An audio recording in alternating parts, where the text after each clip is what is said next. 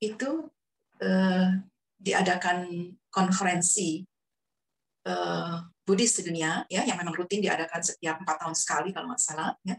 Nah pada tahun 1950 itu di mana berkumpul semua eh, perwakilan umat dan sangga dari seluruh dunia, di situlah diputuskan atau disepakati bahwa umat Buddha akan merayakan hari Wesak yaitu yang jatuhnya bulan 4 tanggal 15 atau 16 lunar. Ya.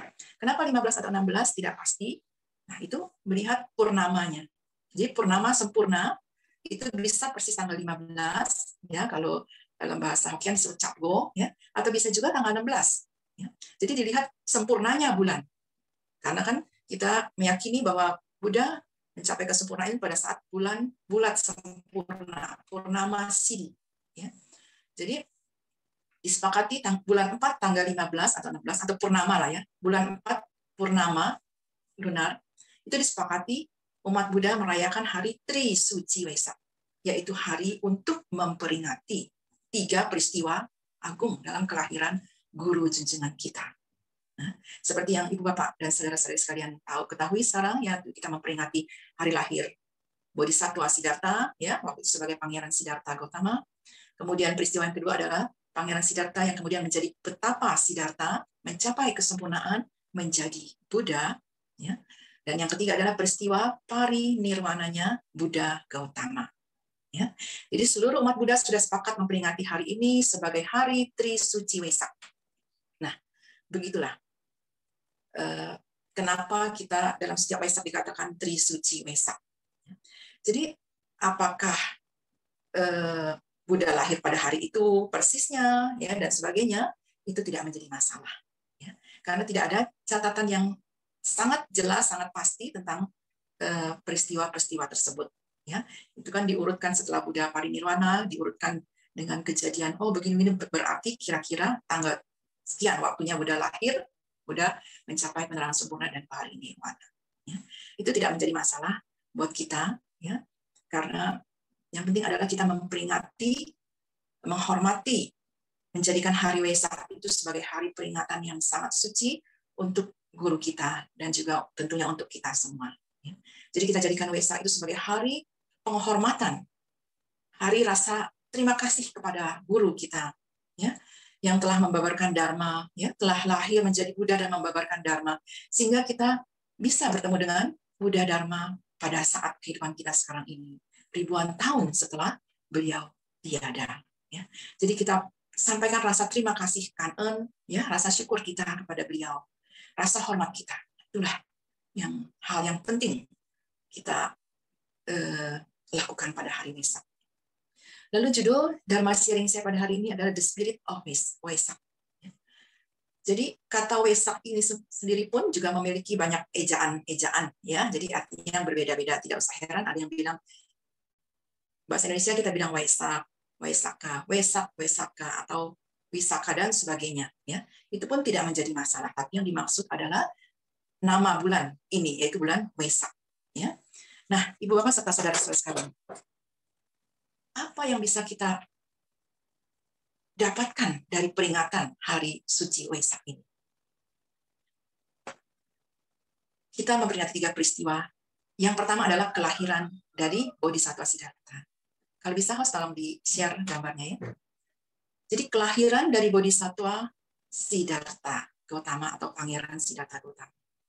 Dalam gambar ini Anda semua melihat ya seorang wanita yaitu Ratu Mahamaya di belakang tangannya sedang berpegangan kepada sebatang pohon, ranting pohon.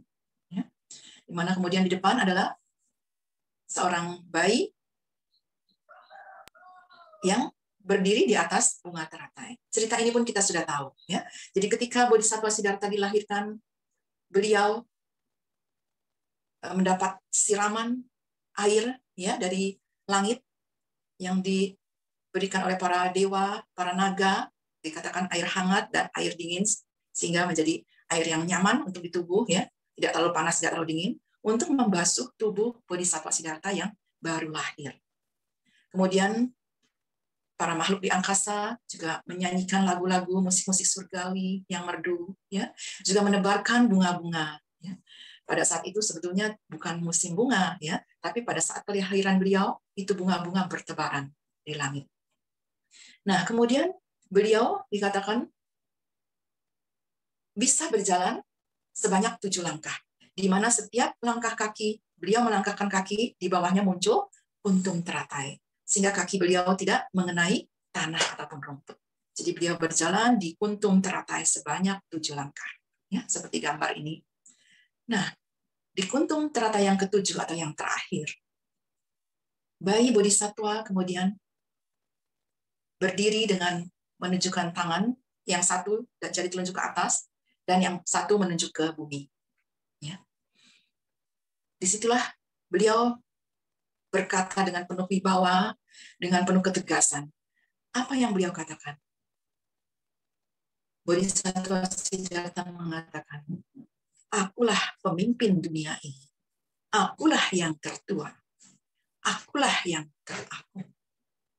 Inilah kelahiranku yang terakhir. Aku tidak akan bertumimbal lahir. Ya, jadi Bodhisattva dengan tegas dengan berwibawa mengucapkan kalimat-kalimat tersebut. Nah, Ibu Bapak serta saudara sekalian, apa makna dari perkataan beliau itu? Pernah ada umat yang menyatakan menanyakan kepada saya. Waktu itu saya posting kata-kata ini, ya kemudian umat ini komentar. Suhu, sepertinya nggak usah diposting deh kata-kata seperti itu.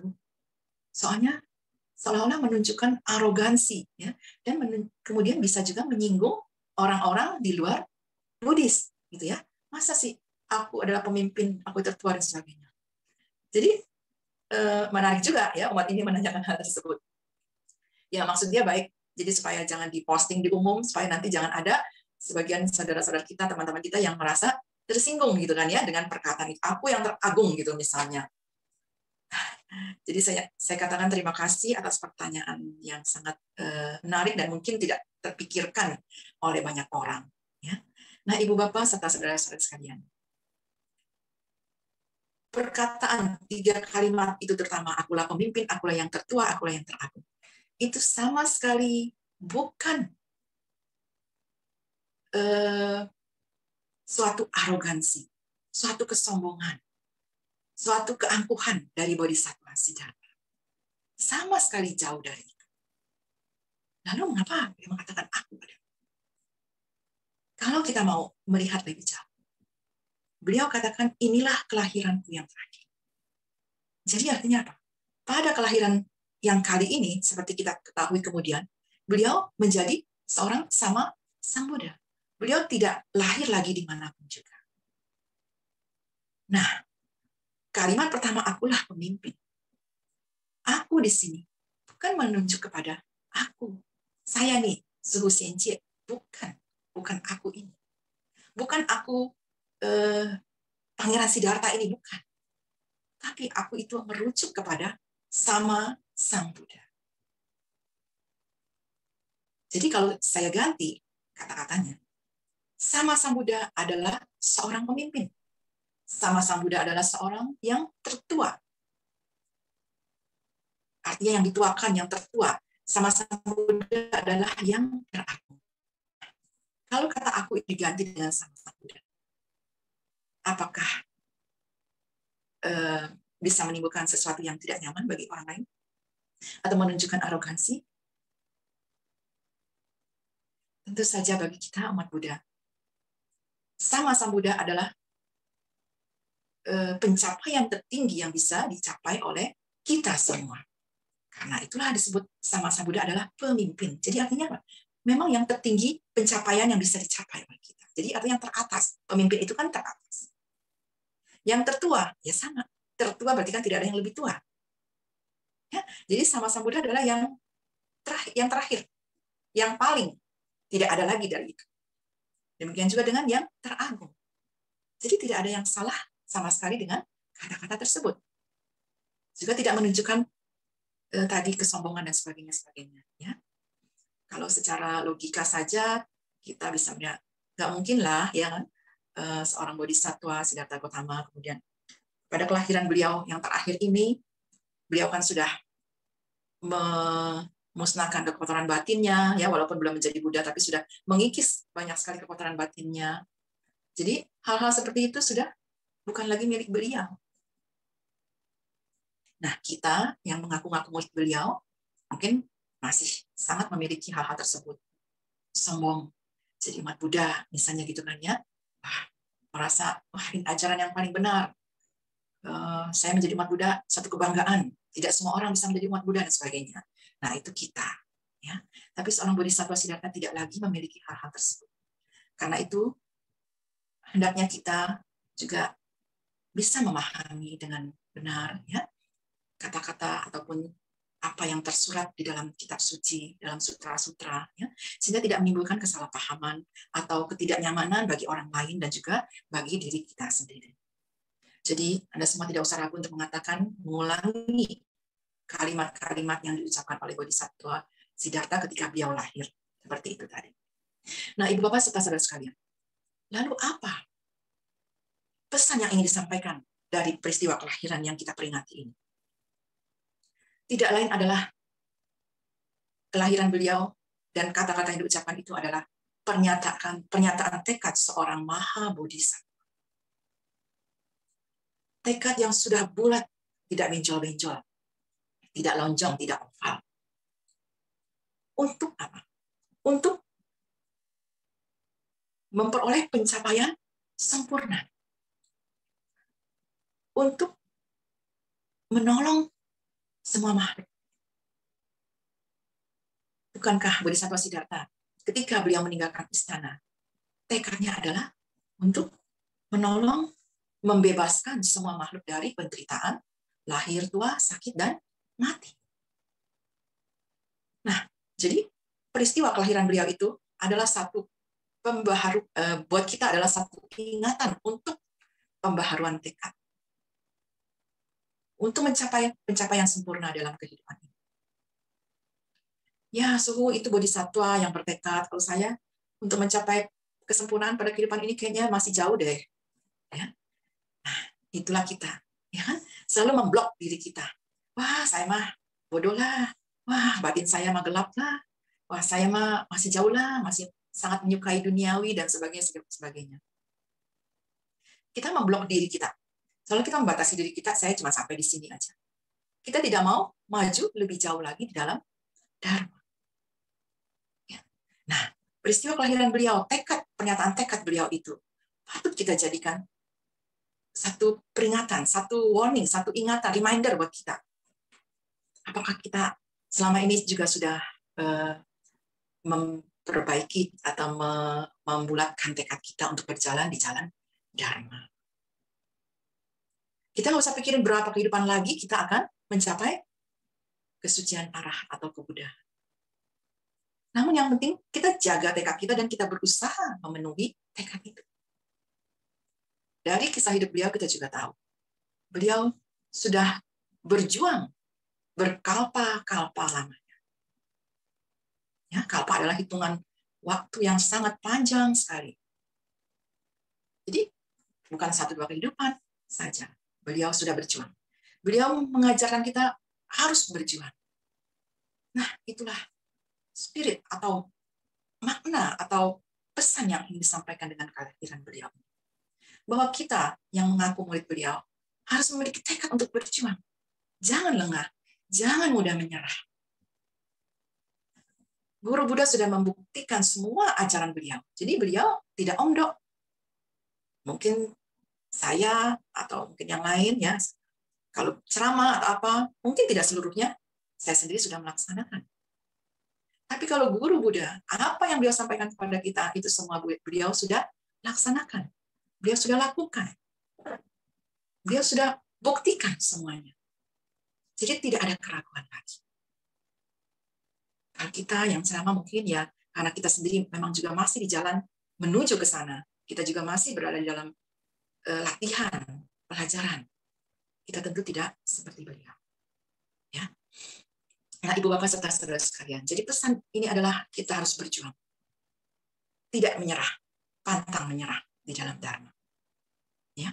Nah, kemudian peristiwa yang kedua yaitu beliau menjadi sama Sang Buddha mencapai kesempurnaan di bawah pohon Bodhi. Kita lihat di latar belakang bulan purnama ya. Nah, tadi seperti saya sampaikan dalam yang hal yang pertama bahwa beliau keluar dari istana adalah untuk niatnya, cetananya adalah untuk menyelamatkan semua makhluk dari kelahiran sakit tua dan mati, penderitaan-penderitaan tersebut.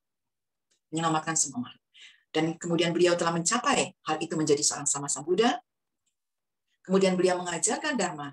Yang pertama kepada lima orang biku. Apa yang pesan beliau kepada lima orang misionaris pertama ini, para biku? Beliau katakan, ajarkanlah Dharma demi kebahagiaan semua makhluk. Beliau tidak pernah mengatakan, Hai kalian murid-muridku, murid murid lima, muridku yang pertama, kalian sebarin dharma ya. Jadikan orang-orang yang mendengar menjadi muridku, menjadi pengikutku. Tidak. Tidak ada kata-kata itu sama sekali. Dia hanya mengatakan sebarkanlah dharma demi kebahagiaan semua. Nah, pesan apa yang ingin beliau sampaikan? Pertama,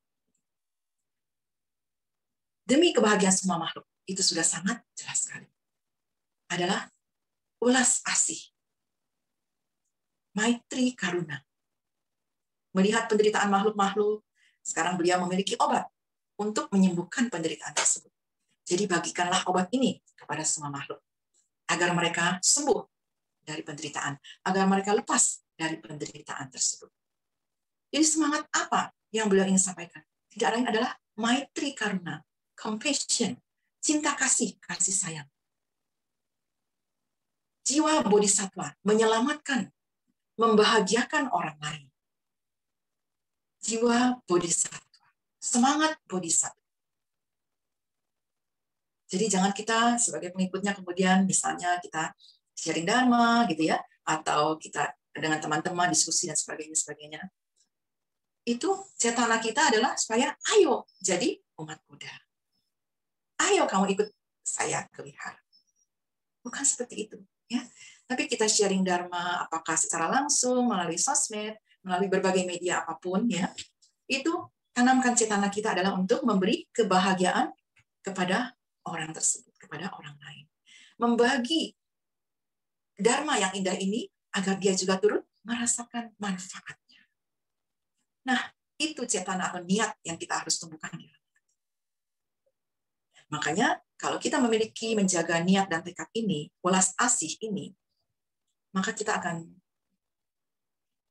tidak banyak atau bahkan tidak terlibat sama sekali dalam perdebatan-perdebatan tentang uh, ajaran saya yang benar atau ajaran kamu yang benar. Kita tidak akan terlibat dalam -hal seperti itu. Debat usir ya yang tidak akan membawa manfaat apa pun selain malah menumbuhkan kemarahan, kebencian gitu ya. Mungkin juga pandangan keliru kita terhadap paham orang lain dan sebagainya. Jadi kita semua bukan hanya para suhu, para anggota sangga, bukan hanya para pandita, romo, ramani, dharma duta, tapi Anda semua juga yang mengaku sebagai umat Buddha adalah juga sebetulnya adalah duta dharma. Duta dharma. Jadi yang membantu menyebarkan dharma. Waduh, saya nggak banyak tahu suhu, nggak banyak belajar dharma. Terus ya cuma sedikit-sedikit aja sih saya tahu harus menjalankan Pancasila, misalnya mengembangkan Brahma Wihara dan sebagainya. Nah, itu sudah lebih dari cukup Artinya apa? Praktekkan. Praktekkan itu dalam kehidupan Anda sehari-hari. Kalau Anda mengaku umat Buddha, kemudian Anda hidup dengan mematuhi sila,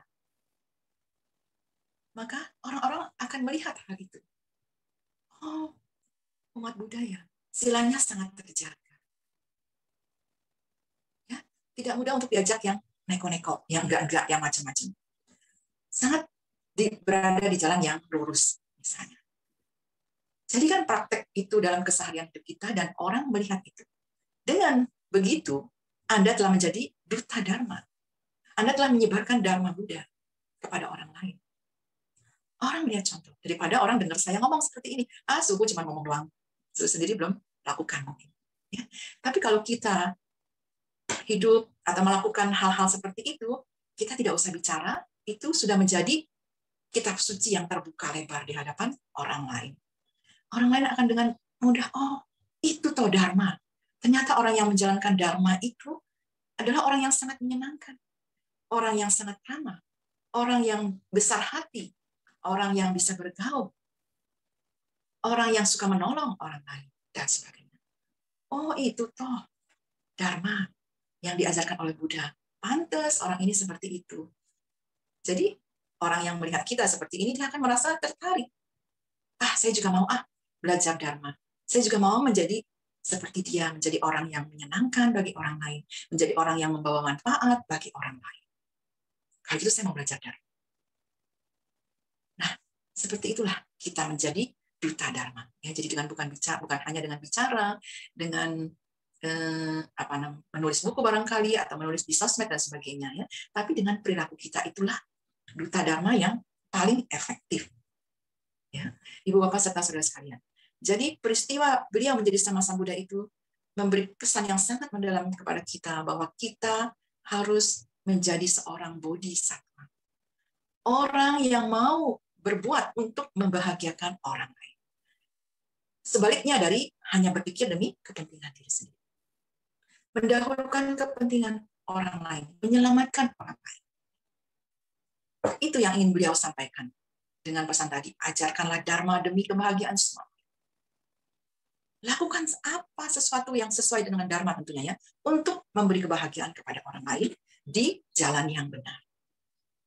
Pesan yang buat saya pribadi sangat-sangat mendalam dan sangat menyentuh sekali. Untuk itulah beliau ada di hadapan kita seperti gambar ini. Beliau menjadi seorang sama sang Buddha. Dengan perjuangan yang hebat luar biasa selama berkata Itulah yang ingin beliau kita lakukan sebagai murid-muridnya. Menjadi seperti beliau. Mungkin dalam porsi yang kecil, nanti makin besar, makin besar, akhirnya kita pun akan sampai ke pada status pencapaian sempurna tadi. Kita berusaha, jangan mundur. Ketika kita sudah mulai melakukan hal-hal yang kecil, hari ini, apa yang sudah saya lakukan hari ini untuk kebahagiaan orang lain? Renungkan hal itu setiap hari. Setiap kali kita bangun tidur, apa yang kita pikirkan? Apa yang saya bisa perbuat hari ini untuk orang lain?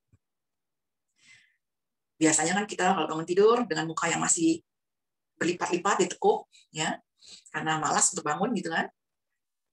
Malas untuk beranjak dari tempat tidur. Kemudian yang kita pikir apa? Aduh saya nanti harus menelpon dia. Wah saya belum menyelesaikan ini saya semua saya saya saya saya saya. Tidak ada tempat untuk orang lain. Sekarang dibalik kita coba. Pikiran pertama ketika bangun tidur apa yang bisa saya lakukan untuk kebahagiaan orang lain? Banyak sekali. Anda mungkin lebih tahu. Dan Anda juga mungkin sudah melakukan hal itu. Banyak yang sekali bisa kita lakukan untuk memberi kebahagiaan kepada orang lain. Dari hal-hal yang paling sederhana, ya kan? Memberi senyuman, memberi keramahan, menyapa orang, sampai memang menolong orang yang memerlukan bantuan dan sebagainya dan sebagainya. Ya, kita coba berusaha, berlatih, memulai hari dengan semangat bodhisatwa seperti yang guru agung junjungan kita ajarkan, tunjukkan dan Eh, teladankan untuk kita. Nah, dari sini sedikit-sedikit kita semangat bodhisatwa dipupuk-dipupuk, akhirnya nanti mungkin dalam kehidupan ini kita belum mencapai apa-apa, tapi kita sudah punya bekal dalam kehidupan ini. Kehidupan berikutnya kita tambah lagi bekal kita, tambah lagi dan seterusnya. Jangan kita mengharapkan sekarang bertemu dengan Buddha Dharma dalam kehidupan sekarang, kemudian kok saya nggak jadi nggak mencapai-capai kesucian ya? Saya sudah rajin ke wihara sudah rajin baca parita rajin berdana rajin menolong orang nggak mencapai-capai kesucian ya? Itu mimpi di siang bolong ya? Jadi perlu usaha yang keras perlu perjuangan yang banyak. Anda mungkin tahu eh, Buddha dikatakan beliau bisa mencapai sama-sama Buddha pada kehidupan sekarang ini. Karena salah satu bekal beliau adalah telah menyempurnakan paramita paramita. Nah, kita sekarang ini tugas kita adalah menyempurnakan paramita paripurna. Memupuklah belum menyempurnakan, memupuk sedikit sedikit sedikit ya, sempurnakan sampai paramitanya sempurna baru kita memiliki bekal yang cukup menjadi seorang Buddha. Jadi tugas kita itu tidak usah yang eh, muluk-muluk atau yang target terlalu tinggi, tapi bagaimana kita dari hari ke hari terus melangkah maju, memupuk paramita. Tugas saya memupuk paramita. Nah, Ibu Bapak serta saudara sekalian, kita sampai pada peristiwa yang ketiga, yaitu peristiwa pari nirwananya Guru Buddha. parinirwananya beliau. Peristiwa ketiga yang kita peringati dalam hari Trisuci Misa.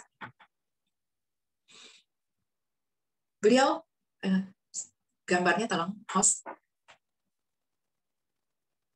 Parinirwananya beliau adalah salah ada contoh yang sangat eh, jelas mengenai faham yang kita semua sudah kenal, yaitu paham tentang hukum perubahan anicca wata sangkara. Perubahan ketidakkekalan. Ya, tadi saya katakan kehidupan beliau semua adalah contoh nyata tentang dharma itu sendiri. Termasuk peristiwa parinirwananya beliau. Bahwa tubuh beliau pun seorang sama sang Buddha, tubuh jasmaninya pun tidak kekal. Akan rapuh, melapuk, dan akan hancur. Itu pesan yang sangat jelas. Kemudian beliau mengatakan, pesan kepada murid-murid, berjuanglah. Sekali lagi berjuang. Jadilah pulau bagi dirimu sendiri. Ya, ini satu pesan yang sangat uh, penting. Harus kita camkan dalam diri kita masing-masing sebagai murid Buddha. Jadilah pulau bagi dirimu sendiri. Jadi artinya apa? Kita bukan menafikan ada kekuatan lain dan sebagainya. Namun maksud dari kata-kata ini adalah kita sendiri harus berjuang. Faktor-faktor luar diri kita tentu saja bisa menjadi satu dukungan, satu bantuan, satu pertolongan. Tapi yang utama adalah diri kita sendiri harus berjuang. Kalau kita tidak berjuang, walaupun seribu orang mendukung, kitanya tidak berjuang. Ibaratnya kita ini uh, uh, tidak bisa, katakanlah tidak bisa, kita berada dalam keadaan yang uh, lemah gitu ya. Kita berada dalam satu lubang yang dalam. Nah, kemudian kita mulai putus asa. Bagaimana cara keluar dari lubang ini? Tidak ada sarana, tidak ada alat-alat dan sebagainya. Dan saya panggil-panggil orang tidak ada yang dengar. Eh, tiba-tiba kemudian ada tali yang terjulur masuk ke arah kita. Di atas dengan suara, ayo coba pegang tali itu dan naik. Terus kita lihat tali itu, ya talinya tali rafia, gitu ya, bukan tali tambang yang kuat. Mana bisa mengangkat tubuh saya misalnya, gitu kan? Kemudian datang lagi kemudian tali lagi yang lain.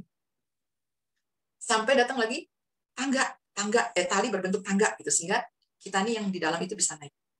Tapi apa yang kita lakukan? Kita terus-terusan komplain. Ah talinya kayak seperti itu nanti saya sudah lecet. Tangganya seperti itu belum tentu kuat akhirnya apa yang kita lakukan di bawah sana kita hanya berdiam diri kita tidak melakukan satu usaha apa pun sedangkan bantuan sudah berdatangan support sudah mengelilingi kita dukungan. Tapi kitanya ini tetap aja duduk di bawah, tidak mau mencoba. Coba aja dulu tali yang ini, ya kalau tidak kuat paling kita jatuh lagi. Ya kan? Atau bagaimana? Ini tidak, kita diam saja tidak melakukan apa-apa. Jadi walaupun kemudian helikopter juga datang, kalau kita tidak bergerak menggapai e, tali atau tangga yang diturunkan oleh helikopter itu atau oleh apa pun juga, apakah kita bisa naik? Tentu saja jadi kita sendiri yang harus berusaha. Syukur-syukur karma baik berbuah banyak pihak yang memberikan pertolongan, memberikan dukungan kepada kita. Sehingga usaha kita kemudian menjadi berhasil karena dukungan mereka. Tapi sekali lagi, kalau kita hanya diam-diam saja duduk manis, ya seribu orang mengirimkan bantuan, mendukung kita, mendorong kita, menasihati kita, dan sebagainya, sebagainya, itu semuanya akan sia-sia belaka. Ibu Bapak saudara-saudara sekalian. Inilah beberapa hal yang saya sampaikan sebagai uh, the spirit of Pesach. Jadi kita tidak hanya menghormat, memberi penghormatan, mengikuti upacara dan sebagainya, tapi terlebih lagi bagaimana Waisak ini bisa memberikan sesuatu kepada kehidupan kita. Nah, dengan kita mau merenungi peristiwa-peristiwa ini, mau mencoba memahami apa yang terkandung di dalam pesan-pesan dalam peristiwa ini. Maka kita kemudian akan dapat dipastikan mendapatkan manfaat dari Waisak ini, mendapatkan energi dari Waisak yang suci. Kalau tidak, Waisak hanyalah hari-hari seperti hari yang lain. Bahkan ada orang bilang, uh, bulan purnama di hari Waisak itu adalah bulan purnama yang luar biasa. Jadi makanya kita semua bermeditasi pada saat detik Waisak itu. Itu betul sekali. Dalam kepercayaan India kuno, jauh sebelum Buddha Gautama ada, di India kuno itu sudah ada kepercayaan bahwa bulan purnama itu memberikan energi yang berlipat ganda luar biasa. Jadi kalau saat hari itu kita katakanlah memiliki perasaan-perasaan yang positif, cinta kasih dan sebagainya, ingin berbuat baik, nolong orang dan sebagainya, maka pada saat bulan purnama itu perasaan atau semangat atau ini itu menjadi menguat berlipat ganda. Kita makin bersemangat untuk melakukan menolong orang misalnya, melakukan kebaikan dan sebagainya. Demikian juga kalau hari itu kita memiliki pikiran atau perasaan-perasaan yang negatif. Itu pun akan menjadi berlipat ganda. Jadi energi bulan purnama ini tidak pandang bulu, pokoknya dia hanya melipat gandakan kekuatan. Apakah itu kebaikan, ataukah itu keburukan. Nah, ini salah satu kepercayaan di India kuno seperti itu. Makanya berkaitan itu pula, pada awalnya murid-murid Buddha dulu tidak ada hari uposatha. Ya. Tapi karena saat itu eh, tradisi dan budaya yang ada Eh, di luar Buddha Dharma pada saat itu melaksanakan acara-acara pada hari purnama dan bulan tilam atau bulan baru itu, ada yang mengusulkan kepada guru Buddha. Akhirnya Buddha juga singkat cerita menggunakan hari uposata itu sebagai hari pelatihan diri. Ya. Nah, itulah kenapa dalam hari uposata kita dihimbau untuk banyak melakukan eh, kebaikan dengan pikiran, kata-kata maupun dengan perbuatan kita. Karena itu energi dari Eh, bulan purnama itu sangat besar sehingga dapat melipat gandakan semangat dan kebaikan kita itu. Nah, silahkan Anda cek melalui uh, teknologi atau keilmuan ya mengenai melalui sains bahwa memang bulan purnama itu bukan hari yang biasa ya. Jadi contoh yang paling mudah itu saja. Pasang laut ya setiap bulan purnama itu akan terjadi pasang laut. Jadi energi laut bergelora, berlipat ganda dan sebagainya. Kemudian ini salah satu contoh dulu waktu masih kecil suka baca-baca cerita cerita-cerita uh, apa ya. Nah itu banyak dengan kisah-kisah yang uh, bahwa pada bulan purnama itu banyak sekali kejadian-kejadian kriminal atau dan sebagainya kejahatan-kejahatan tuh yang terjadi dengan sangat hebat ya. Jadi setelah kemudian saya membaca sana dan sini dan secara keilmuan memang dinyatakan bahwa energi bulan purnama itu sangat luar biasa ya. Nah, kita sebagai umat Buddha sudah tahu hari Uposata ya, Ceit Sabgo, bulan purnama, bulan Tilem. Nah, kita manfaatkan waktu itu sebaik-baiknya untuk melatih diri di dalam dharma ya, sehingga kita memperoleh ekstra energi untuk maju terus di dalamnya. Baiklah Ibu Bapak Saudara-saudara sekalian, uh, saya rasa cukup sharing saya sampai di sini. Terima kasih atas perhatiannya. Uh, marilah kita um, beranjali. Saya akan membacakan mantra kebahagiaan untuk Anda semua, untuk kita semua. Semoga Anda semua memperoleh berkah dalam hidup ini, berupa kesehatan, kesejahteraan, lahir dan batin, panjang usia, keharmonisan, kebahagiaan, dan senantiasa memiliki semangat untuk mempelajari dan kemampuan untuk memahami serta kemauan untuk mempraktikkan Dharma dalam kehidupan sehari-hari dan semangat bodhisattva untuk menyelamatkan semua makhluk. Marilah kita juga limpahkan jasa dedikasikan kebajikan pada pagi hari ini kepada dunia ini yang masih dirundung oleh pandemi COVID-19. Semoga segala kondisi dan karma baik mendukung sehingga kita semua bisa memiliki dunia yang lebih baik sehingga dapat melanjutkan kehidupan sebagaimana seperti pada awalnya. Tentu saja dengan kesadaran kita semua, terutama untuk memperbaiki diri kita, dimulai dari diri kita sendiri, keluarga kita, teman-teman, lingkungan, dan semua makhluk.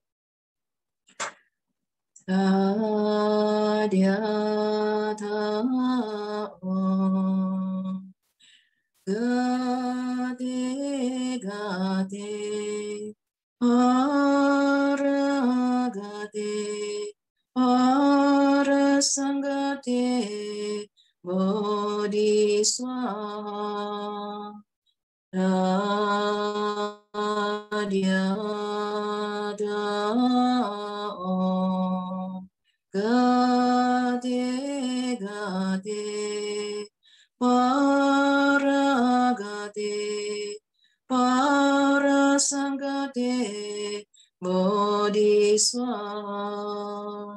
나랴다오 가데 가데 오라 가데 오라 상가데 머리사 Sabe serta Bawantus kita semoga semua makhluk hidup berbahagia. Selamat siang, terima kasih atas perhatiannya. Namo Buddhaya. Baik, kini tiba saatnya untuk sesi tanya jawab. Ya, uh, selamat pagi Suhu, Namo Buddhaya. Uh, jadi saya ada sekitar tiga pertanyaan Suhu ya. ya. Jadi ini benar-benar pertanyaan baru terpikirkan uh, pas dengan ceramah Suhu tadi gitu. Jadi yang pertama Suhu ya untuk mengenai kelahiran Pangeran Siddhartha. Jadi kan uh, Sang Buddha kan pas lahir kan uh, dia udah bisa berjalan tujuh langkah kemudian berbicara begitu ya. Itu uh, pas dia uh, pas sang Buddha berbicara kan dia berarti kan penuh sati gitu kan. Dan juga seperti uh, sholat tuh kayak uh, ingatan dari kehidupan lampau dia tuh masih uh, apa ya melekat jelas gitu kan. Makanya uh, sang Buddha bisa berkata demikian begitu. Jadi uh, setelah sang Buddha dengan penuh saat itu berkata demikian apakah uh, apa ya uh, ingatannya itu saatnya itu tuh masih terbawa gitu sampai sebelum Pangeran Siddhartha uh, keluar dari istana begitu. Jadi istilahnya masih oh, apakah sampai bisa mengingat kehidupan lampau dia gitu kan uh, pas saat itu juga atau uh, pas dia setelah berbicara itu udah udah selesai gitu maksudnya kayak uh, kayak bayi biasa berbicara mm, apa enggak uh, belum bisa ngomong gitu kan atau cuma pada saat uh, dia pas setelah berjalan tujuh angka itu gitu. lalu kedua ya suhu ya, saya mau tanya itu apakah uh, uh, itu ya sama Sambuddha uh, Buddha Gotama, uh, Buddha Siddhartha merupakan uh, sama Sambuddha yang pertama di kalpa ini gitu. Kalau misalnya yang saya ketahui kan satu kalpa itu adalah satu masa hancurnya dunia begitu kan. Jadi kita ibaratkan berarti kalau misalnya di zaman kita sekarang berarti uh, awal kehidupan uh, anggaplah yang uh, misalkan uh, diketahui dari sains gitu kan dari 60 juta tahun yang lalu dari zaman dinosaurus begitu kan. Jadi dalam satu uh, kehidupan ini gitu kan dalam kalpa ini apakah baru sama sang Buddha uh, Buddha Siddhartha Gautama yang baru pertama gitu? Atau um, memang saya uh, pernah dengar itu sebelum sang Buddha Siddhartha Gautama ada sama sang Buddha lainnya begitu cuman sepertinya uh, banyak diketahui gitu kan profil dari sama kehidupan pribadi gitu kan dari setiap sama Buddha sebelum Siddhartha Gautama. Jadi uh, kalau misalnya seandainya memang Siddhartha Gautama itu yang pertama di Kalpa ini, itu berarti kan memang masuk akal gitu kan kenapa ibaratnya riwayatnya uh, tertu, uh, apa ya ada jelas gitu kan uh, ada ibaratnya dari recordnya gitu karena memang masih dalam kalpa ini gitu. Tapi kalau misalnya sama sang budaya yang lainnya gitu kan apakah memang uh, tidak ada recordnya karena memang tidak dalam kalpa ini gitu uh, munculnya gitu. Itu yang kedua.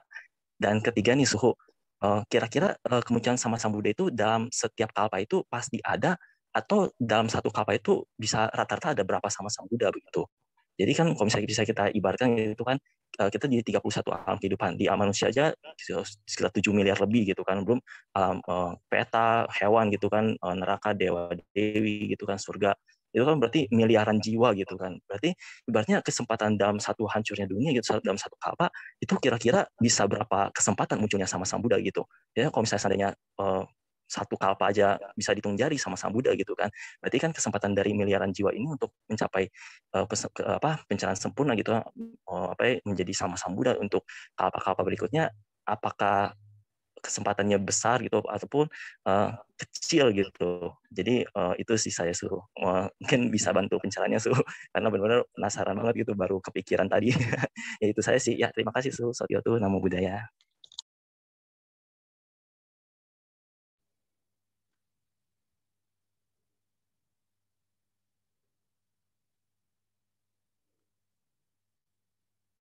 Baik, kepada suhu dipersilahkan untuk menjawab pertanyaan yang sudah masuk. Sorry. Ya, sorry tadi mute. Uh, ya, terima kasih kepada Vincent atas pertanyaannya. Ya, uh, so mohon maaf ya tidak menjawab pertanyaan-pertanyaan tersebut ya karena semua harapkan pertanyaan-pertanyaan yang datang adalah mengenai tema pada hari ini jadi the spirit of Wesak jadi apa yang bisa kita dapatkan atau apa yang bisa kita um, manfaatkan dari setiap kali Waisak yang hadir di hadapan kita. Jadi Su tidak akan menjawab terutama pertanyaan kedua dan ketiga ya mungkin dari sumber-sumber yang lain saja ya karena uh, kurang tidak berkaitan langsung dengan tema pada hari ini karena tujuan Su mengetengahkan tema The Spirit of Pesach adalah tidak lain untuk menyemangati, untuk memberi motivasi kepada kita semua, termasuk pada suku juga. ya Untuk kita nih sebagai murid Buddha, bagaimana kita nih untuk betul-betul merasakan manfaatnya Dharma. Kita sering mengatakan Dharma indah pada awalnya, di tengah, dan, dan di akhirnya. Tapi sebagai umat Buddha, banyak sekali yang kemudian menyatakan, bukan menyatakan, merasa tidak merasakan keindahan dari dharma itu dalam kehidupannya. Ya, makanya tadi Su sharing mengenai the spirit of Vesak, pesan-pesan yang ingin Buddha sampaikan kepada kita. Tidak lain bagaimana kita menjadikan dharma itu adalah way of life kita, cara hidup kita, pedoman kita sehingga kita pun bisa mencapai kebahagiaan seperti yang Buddha capai. Ya, jadi mengenai pertanyaan-pertanyaan teori yang bersifat seperti itu, Su tidak akan jawab pada forum ini. Ya, Demikian juga dengan pertanyaan yang pertama, apakah beliau ingat kehidupan dan sebagainya, itu juga sangat tidak relevan, ya. Artinya juga tidak akan memberi manfaat secara langsung bagi kemajuan praktek kita di dalam dharma. Ya, apakah beliau setelah eh, lahir berjalan tujuh langkah mengatakan hal itu kemudian lupa sampai ingat lagi mau jadi petapa dan sebagainya itu tidak relevan untuk kita bahas ya karena tidak Eh, memberi manfaat juga untuk praktek dharma kita. Ya, jadi sekali lagi maaf Vincent ya, silakan ditanyakan mungkin dalam forum yang lain di mana bahas mengenai teori-teori seperti itu. Ya, oke silakan kalau ada masih ada pertanyaan lain mengenai praktek dharma sesuai dengan uh, the spirit of Wesak ini. Terima kasih. Uh, sudah ada Bapak Hengki untuk selanjutnya. Silahkan untuk mengajukan pertanyaan. Selamat pagi, Suhu. Nama budaya. Saya ada tiga pertanyaan. Yang pertama, bagaimana menolong diri sendiri apabila seseorang sudah mengalami depresi yang sangat tinggi? Yang kedua, apakah ada suatu parita yang dapat membantu untuk mengembalikan semangat orang tersebut? Yang ketiga, apa yang dapat kita lakukan sebagai orang terdekat orang tersebut untuk mengembalikan motivasinya? Terima kasih. Iya, terima kasih Pak Hengki. Ya, bagaimana menolong diri sendiri kalau kita sudah depresi? Nomor satu, jangan sampai depresi dulu. Usahakan jangan sampai kita depresi. Nah, kenapa kita bisa depresi? Itu adalah karena kita tidak menerima kenyataan yang ada. Ya, kita tidak menerima kenyataan, maka kita kemudian menjadi depresi. Katakanlah orang sakit atau orang mengalami satu musibah dan sebagainya. Ya, banyak sekali ini terjadi. Ya. E, paling sering kita temui mungkin orang sakit gitu kan ya. Ada orang yang dalam kehidupannya menjalani cara hidup yang sehat, ya dia rajin olahraga, kemudian makannya juga cukup sehat. Ada sekali-kali lah paling makan yang ini ya, yang kurang sehat. Tapi pada umumnya dia makan sehat, olahraga, mengkonsumsi vitamin dan sebagainya, sebagainya. Terus kemudian tiba-tiba kena stroke. Ya kan ya? Nah, ketika dia kena stroke itu, sebetulnya stroke-nya tidak berat. ya. Namun karena ada penolakan yang keras dalam dirinya, maka dia maka stroke-nya itu kemudian terasa dan juga berubah menjadi parah. Dengan kata lain, mentalnya down, menurun sehingga kemudian dia jadi tahap depresi itu ada penolakan yang keras. Saya sudah hidup sehat, makan sehat, dan sebagainya, sebagainya. Kenapa saya tetap bisa kena penyakit? Itu kan namanya tidak menerima kenyataan. Kenapa saya bisa kena sakit? Itu kalau kita muncul pertanyaan seperti itu, itu sama saja kita meragukan Dharma. Bukankah Buddha mengatakan lahir, tua, sakit, mati? Itu kan adalah satu kejadian yang sangat-sangat alami semua akan kita uh, alami gitu kan ya tidak ada orang di dunia ini yang tidak pernah sakit misalnya ya? Jadi kalau kita mengatakan begitu kenapa saya bisa sakit saya sudah berarti juga pertama kita uh, menyangkal dharma kebenaran dharma kedua pengetahuan kita juga kurang kita pikir hanya dengan merawat jasmani ini saja kemudian kita bisa menjadi terus sehat Apakah memang demikian? Bagaimana dengan mental kita, batin kita?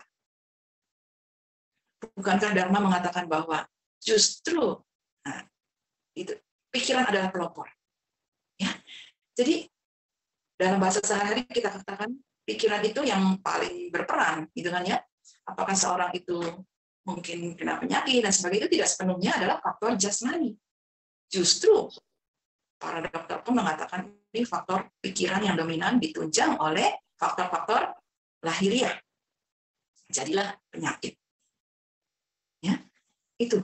Jadi kalau kita sampai mengalami satu dan kemudian depresi, berarti itu kita tidak kita menyangkal dharma dan kita hanya memiliki pengetahuan yang sempit bahwa kesehatan orang tidak sakit itu hanyalah karena merawat jasmani. Padahal segala sesuatu itu terjadi hanyalah karena bersatunya beberapa faktor atau kondisi. Anda bisa sakit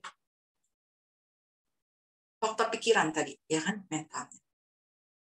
Mungkin banyak stres dalam pekerjaan, atau dalam rumah tangga, atau dalam hal apa saja. Susahnya, stres itu kita tidak sadari. Kebanyakan kita merasa kita oke-oke saja, happy-happy saja, gitu kan? Padahal kalau diukur dengan alat mengukur stres, kita itu udah stres gitu ya. Cuman kita tidak merasa stres. Kemudian ya cara hidup kita dari dari makanan dan tidak olahraga sebagainya. Kemudian faktor lain, mungkin hutang karma kita, ya kondisi lingkungan kita. Misalnya kita berada dalam lingkungan yang katakanlah eh, polusinya tinggi dan sebagainya, ya kan? Otomatis kita yang berdiam di daerah tersebut eh, lebih rentan untuk terkena penyakit. Walaupun kita sudah hidup sehat, pikiran kita tenang, damai, bahagia, dan sebagainya. Tapi karena faktor lingkungan memang polusi, ya kita lebih rentan. Ya. Jadi kita sakit itu bukan hanya satu sebabnya, melainkan beberapa sebab. Jadi jangan sampai kita depresi. Tapi kalau kita sudah depresi, ya kita memang memerlukan orang lain. Ya, kecuali kalau kita orang yang sudah cukup rajin untuk berlatih, ya tapi kalau sudah rajin berlatih depresi juga ya gimana ya susah juga ya harusnya orang yang rajin berlatih artinya berlatih di sini adalah uh, ya belajar di dharma memahami gitu ya bahwa kehidupan itu anicca tidak kekal segala sesuatu bisa terjadi pada kita pada orang lain ya lahir tua sakit mati dan sebagainya. Kalau kita sudah uh, memprogram diri kita dengan hal-hal seperti itu ya maka ketika kita sakit terus kemudian kita juga menjadi tua kok saya keriput sana keriput sini kaki sulit melangkah dulu waktu umur 40 saya masih bisa naik gunung sekarang udah umur 70 jalan aja masih pakai tongkat gitu kan ya nah itu kan sebetulnya satu kalimat yang tidak perlu kita ucapkan ya kan kalau kita selama ini sudah melatih diri sudah memprogram ya tua adalah satu kesunyataan dan tua berarti fungsi-fungsi tubuh kita melemah, merapuh. Dengan sendirinya kita nggak bisa ini, nggak bisa ini, dan sebagainya. Ya.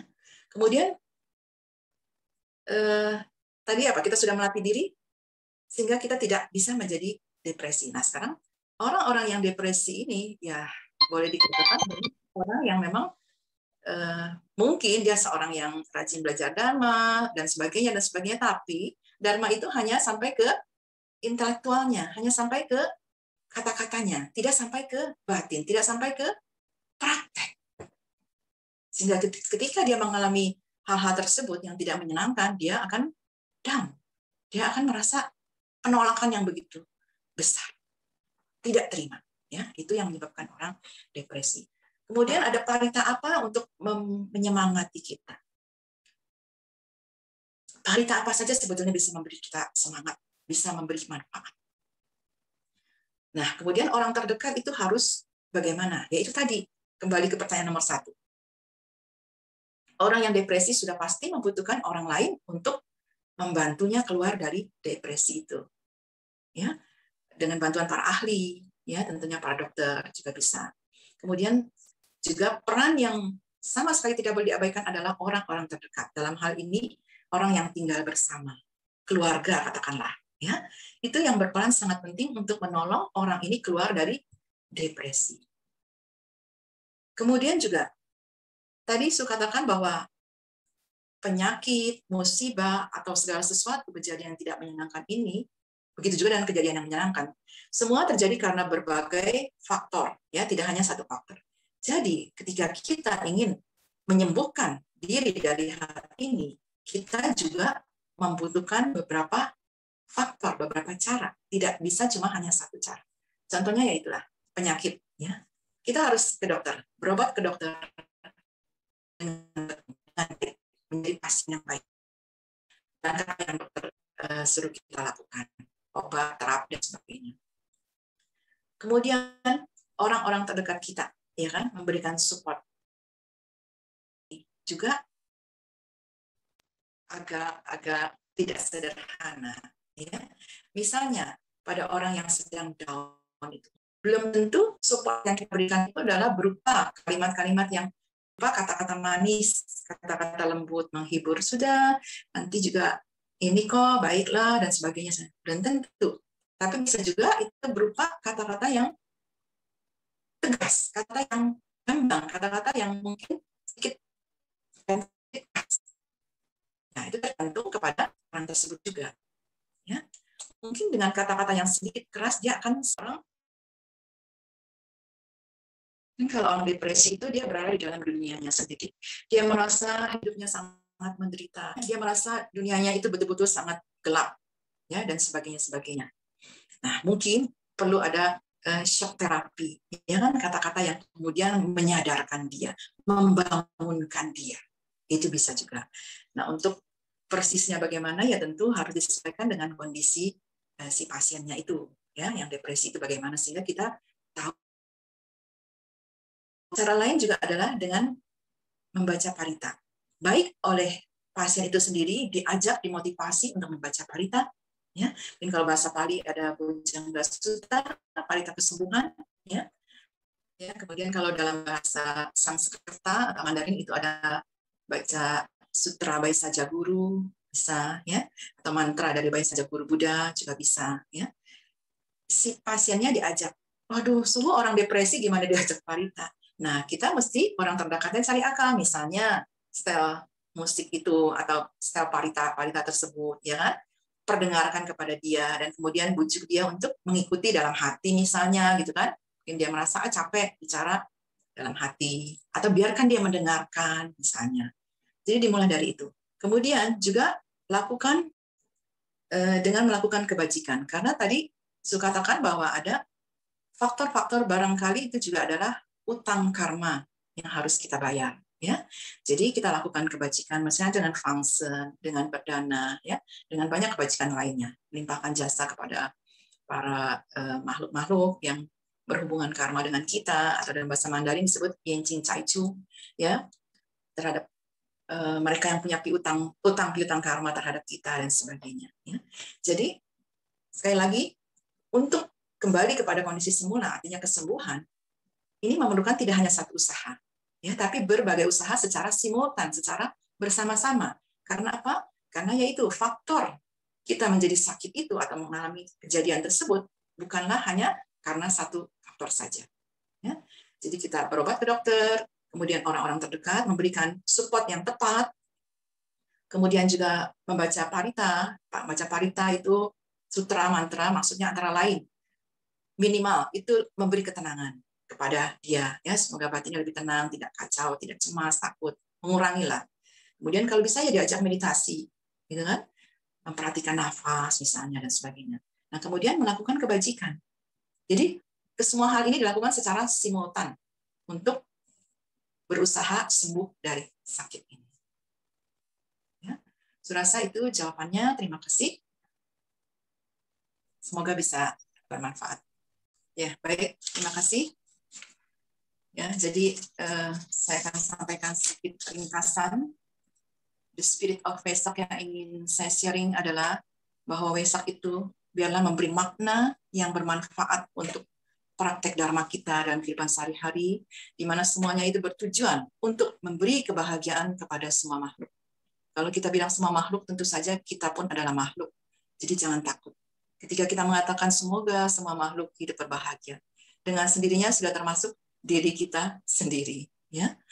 Nah, jadi kita harus memiliki tekad untuk selalu berusaha berjuang di jalan dharma, pantang menyerah. Dan kita mengembangkan maitri karuna, menolong, menjadi duta dharma, menjadi bodhisatwa bagi semua makhluk. Dan kemudian kita juga mesti mengembangkan kebijaksanaan, yaitu tadi seperti guru Buddha sampaikan, jadilah pulau bagi dirimu sendiri. Ya, berjuanglah tanpa putus. Nah, Ibu Bapak serta saudara-saudara sekalian, ya sedikit uh, intermezzo sebagai penutup ya. Belum lama saya mendapat kiriman uh, video yang berisi podcast ya dari seorang selebritis yang tentu Anda juga kenal, memang terkenal. Nah, intinya di podcast itu dia menanyai seseorang, kalau kamu diharuskan memilih salah satu dari agama dari enam agama yang ada di Indonesia, agama apa yang kamu pilih? Saya tidak tahu siapa orang itu. Cuman jawabannya orang itu mengatakan agama Buddha. Kenapa? Karena agama Buddha semboyannya adalah semoga semua makhluk hidup berbahagia. Nah, Ibu Bapak serta saudara sekalian, itu eh, hak dia untuk menjawab seperti itu dan itu keyakinan dia. Lalu kita sebagai umat Buddha mendengar kata-kata itu kemudian merasa tersanjung, merasa bangga, merasa bahagia. Tuh kan ajaran Buddha gitu ya hilangkan perasaan seperti itu, ibu bapak serta saudara sekalian. Itu perasaan yang tidak perlu. Ya. Yang kita perlukan, yang wajib kita lakukan sebagai umat Buddha, sebagai murid Buddha, adalah mempraktekkan Dharma itu sendiri. Ya. Tidak usah berbangga atau sebaliknya tidak usah merasa terhina kalau ada orang yang mengatakan sesuatu tentang ajaran Buddha. Itu tidak ada artinya. Yang sangat berarti dan yang harus kita jalankan adalah praktek Dharma dalam kehidupan kita sehari-hari hingga kita mencapai tujuan akhir di pantai seberang. Ya, baiklah itu saja eh, ringkasan dan kesimpulan saya. Izinkan saya mengucapkan selamat eh, hari Trisuci Waisak 2565 Buddhist Era. Ya. Semoga kita semua sekali lagi dapat menjadi murid Buddha yang baik, yakni yang bisa melaksanakan Dharma dalam kehidupan kita sehari-hari demi kebahagiaan semua makhluk. Selamat siang, Namo Buddhaya, salam sejahtera dan bahagia, sehat untuk kita semua. Saya mohon pamit ya.